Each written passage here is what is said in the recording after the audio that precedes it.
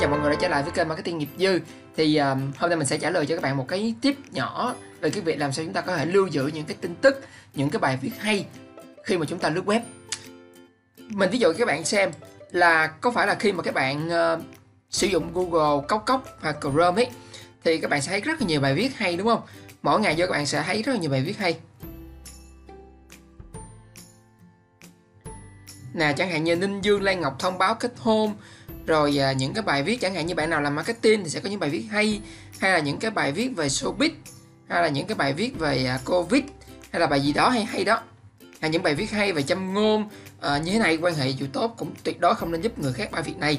Ví dụ như vậy thì mình giả sử như mình lấy một cái bài viết này đi và mình muốn sử dụng nó mình muốn lưu giữ nó làm cái thư viện tài liệu gì đó trong những cái lần sau mình có thể viết content hoặc là mình có thể là chia sẻ lại cho ai đó mình sợ mất thì mình có thể dùng cái cách này để mình lưu lại. Đó là mình sẽ chỉ các bạn bấm tạo cái bookmark ở trên Chrome và Cốc Cốc.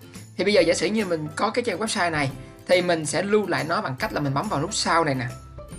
Nếu các bạn chú ý các bạn sẽ thấy là trên cái giao diện Cốc Cốc của mình nó có rất là nhiều rất là nhiều những cái uh, những cái nốt lại uh, kiếm tiền từ thiện marketing shopee rồi tùm lum marketing thương hiệu tùm lum hết.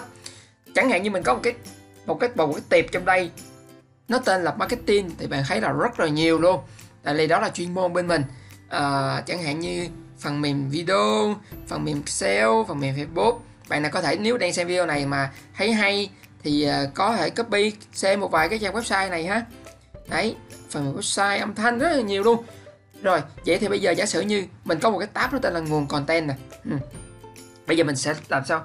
Lưu lại nó mình mình mình dạo này mình đang có cái xu hướng là mình sẽ à, lưu giữ lại những cái bài hay bài viết hay để mà sau này mình có nội dung mình viết cái bài post trên Facebook.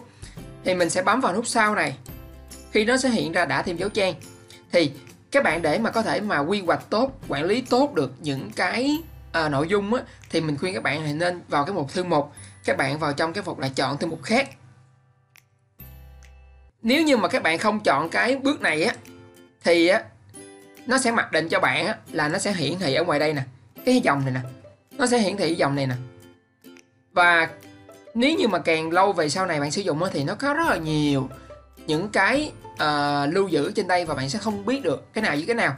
Cho nên mình khuyên bạn là nếu mà sử dụng đã bookmark lại rồi đã lưu giữ cái website lại rồi thì hãy lưu giữ nó trong những cái tiệp chuyên đề ví dụ, bây giờ cái này là nội dung nó liên quan về content, đúng không?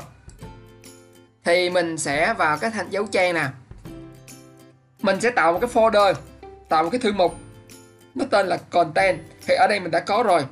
Mình sẽ làm là bấm vào nó, lưu lại.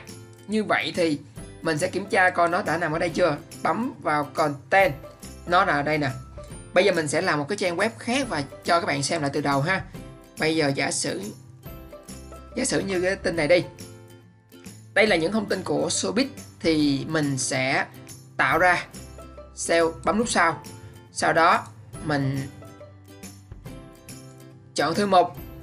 Sau đó mình tạo ra một cái thư mục mới. Mình đặt tên nó là showbiz. Okay. rồi, bây giờ mình sẽ thấy nó xuất hiện ở đây. Showbiz nè đấy vụ cát tường. Bạn thấy không? Còn nếu như mà các bạn mà mình sẽ thử nè. Nếu như mà các bạn mà không có tạo ra thư mục như vậy ấy, thì các bạn bấm sao á nó sẽ mặc định nằm trong cái thư mục mà bạn đã tạo ra trước đó. Còn nếu như bạn nào không có thư mục này á thì mặc định của nó nó sẽ là nằm ở đây nè. Nó sẽ để ở đây nè. Bạn nào mà mới mới bắt đầu sử dụng công cụ này á là nó sẽ sử nó sẽ ra cái cái cái hình này nè. Thành dấu trang mình bấm nút xong cho bạn xem thử ha đấy. Nè nó nằm đây nó không nằm trong bất cứ một cái thư mục nào hết. Nếu như mà các bạn không có nhiều cái for nhiều cái thư mục giống như mình á thì nó sẽ hiện ở đây nè.